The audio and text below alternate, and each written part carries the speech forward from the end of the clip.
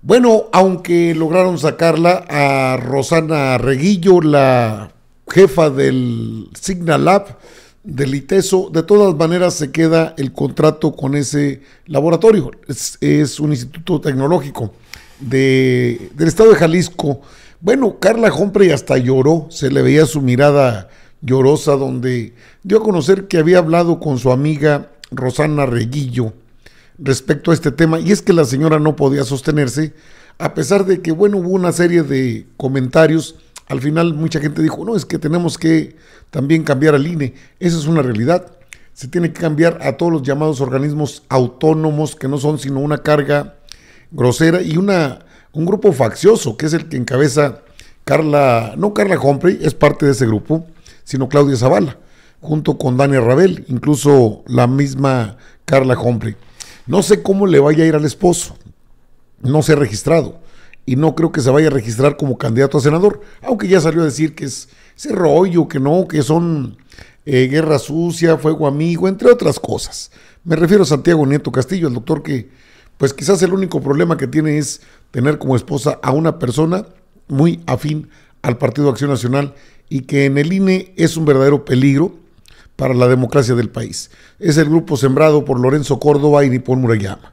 Allá en el INE, en el Consejo General del INE, hubo momentos en que se, tienen que analizar, porque el mismo Germán Martínez Cázares, el otro que va ebrio, que va bajo los influjos de, algo raro, se ve raro, el Acosta Naranjo del PRD, bueno, ellos son así, los envían para que hagan esto. Eh, vamos a la información. Mire, primero, Sergio Gutiérrez Luna les dijo por qué no podían sostener a esta persona. Luego también el propio eh, Mario Yergo les dio el motivo por el que no se podía sostener la propuesta, a pesar de que lo aprobaron por unanimidad, pero sin conocer sus antecedentes. Esto dijo Sergio Gutiérrez Luna. Y quiero ilustrar un posteo de Rosana Reguillo en la cuenta X que dice lo siguiente. Ni modo. Las estrategias de comunicación de la 4T dan pinche vergüenza. Y más vergüenza me da tener tantos amigos en esa gestión que están tan pinche callados. Qué dolor y tristeza. No les etiqueto porque guardo un poco de esperanza, pero ahí se ven. Y quiero ilustrar un posteo de Rosana Reguillo. Esa, esa es la persona que pues finalmente no podrá eh, mantenerse, ya renunció, Sí, renunció a, no al trabajo, yo creo que eso es mucho, pero mire aquí donde Mario Rafael Yergo, eh, también representante de Morena, le dice al propio Germán Martínez Cázares, checa esto, ¿cómo es posible que vayamos a elegir a una persona que está del lado de tu candidata? Porque este ya se descaró, Germán Martínez Cázares, que era independiente. No, no, siempre fue del PAN. Esto le dijo Mario Yergo. Y quiero aprovechar, creo que ya se fue el representante de Acción Nacional, aquí está, para hacerle una pregunta y que me diga, porque aquí él manifestó que Rosana Reguillo es una ferviente defensora de los derechos humanos. Mire usted, señor representante, esta publicación.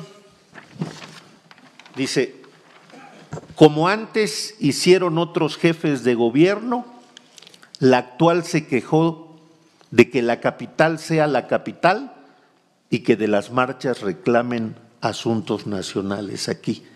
Si eso no es provincianismo, no sé qué es.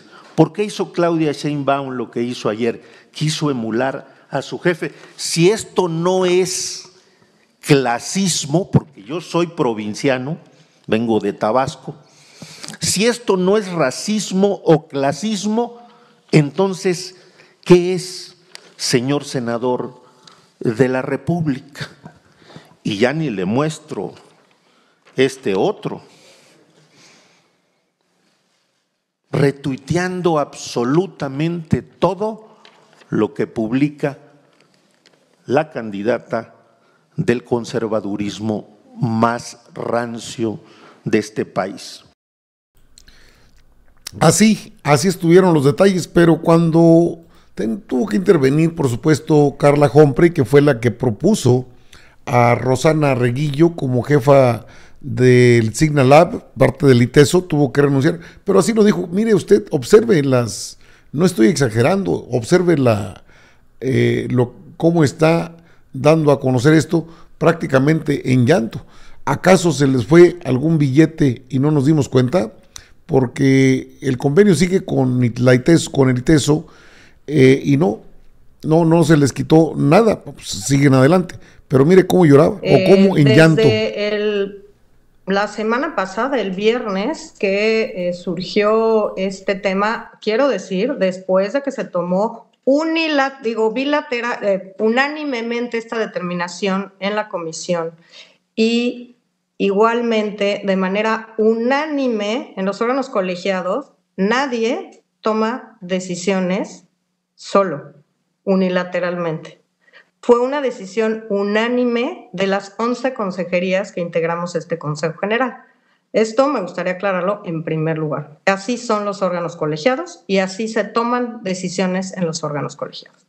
A partir de eso, emprendí eh, una serie de comunicaciones con el ITESO, con la Rectoría, y acaban eh, de comunicarme, de anunciarme que la doctora Reguillo tomó la iniciativa de dar un paso a un costado con tal de despejar el horizonte de este proceso y que habiendo consultado con el personal del departamento de Signalab y con el rector del ITESO, se pueden hacer cargo de este proceso con el rigor comprometido. Y quieren subrayar también que el ITESO no es una empresa, es una universidad, una institución académica. Así que, dicho sea de paso, en primer lugar, pues para mí, este proyecto de acuerdo, pues ya, dado que ya fue superado el motivo de preocupación por el cual eh, tenemos este proyecto en Consejo General, pues me parece que ya queda sin fondo esta preocupación, ya no tiene sentido este proyecto de acuerdo, de cualquier forma, pues evidentemente lo votaré en contra.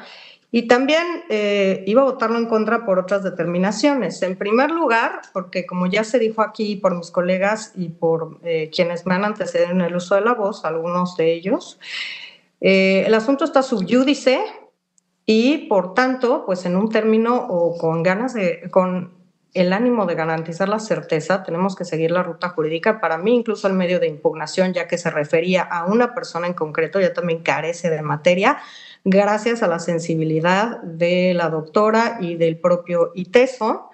En segundo lugar, porque quiero ser muy enfática en esto. Aquí ninguna consejería de este instituto propuso a ninguna de las universidades ni instituciones académicas. Fue la coordinación de comunicación social de este instituto. Otra vez, aquí no hay decisiones unilaterales. Y fue así porque justamente se le encargó también hacer la metodología para llevar a cabo el ejercicio de las preguntas de redes y plataformas digitales. Y en esa metodología que me gustaría, uno, señalar otra vez, nadie de las consejeras y consejeros propuso absolutamente a ninguna de las instituciones. Segundo, además porque la metodología, el, el, acuerdo anterior que hoy se propone modificar, establecía tres cosas, la convocatoria, la metodología y la designación de la institución académica. Dos de los temas no fueron cuestionados. La metodología sigue en pie y la metodología dice textualmente que la Coordinación Nacional de Comunicación Social le entregará la base de datos a través de uno de eh, a la institución que se determine como responsable de aplicar la presente metodología. Eso no fue rebatido, eso ya está firme, al igual que la convocatoria. Así que el INE, además, no tiene las herramientas eh, digitales, informáticas, ni el expertise para hacerse cargo de este ejercicio. Por eso eh, se señala también en este acuerdo que se podría contratar a alguien más.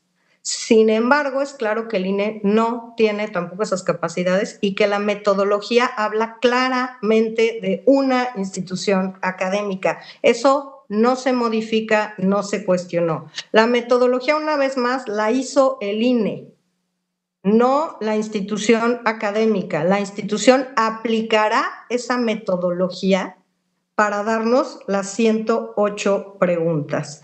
Entonces, eh, también decir que Signala, pues ya también había participado justamente y además un paso atrás en la eh, recolección de las preguntas, en su análisis y en la categorización para el tercer debate presidencial en 2018. Tampoco es una novedad en ese tema que el instituto se haya apoyado también en otras ocasiones en esta y en otras instituciones académicas.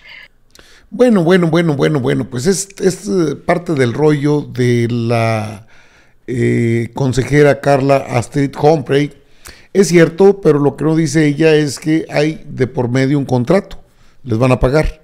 Y me parece muy raro que el INE con todo lo que tiene de recursos, con todo lo que tiene de personal, porque tienen personal a manos llenas, no tengan personal capacitado para hacer una metodología que ellos elaboran y no tienen los elementos, el expertise de ella y que esto está subyudis, es decir, palabras técnicas, palabras más, palabras menos, no está subyudis.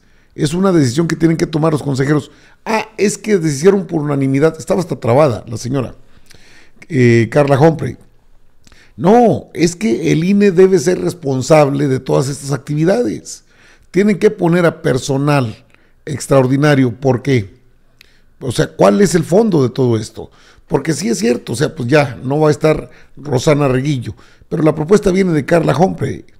Es, sigue habiendo el mismo problema. Obviamente, ya no se puede hacer gran cosa a menos que recurran al Tribunal Electoral. Creo que quedó muy claro que es una señora que tiene rasgos no rasgos, tiene una tendencia al PRIAN. Y bueno, tiene una tendencia de apoyo a, pues es amiga de la botarga. Así no se puede. Tiene que haber imparcialidad. ¿Qué les cuesta mucho trabajo eh, encontrar personas que sean imparciales en el término del trabajo democrático? Tienen muchos recursos, miles de millones de pesos, no solamente a los partidos, sino para el propio INE, y no encuentran una institución que sea imparcial, no tienen personal capacitado para elegir las preguntas y categorizarlas como dicen ellos.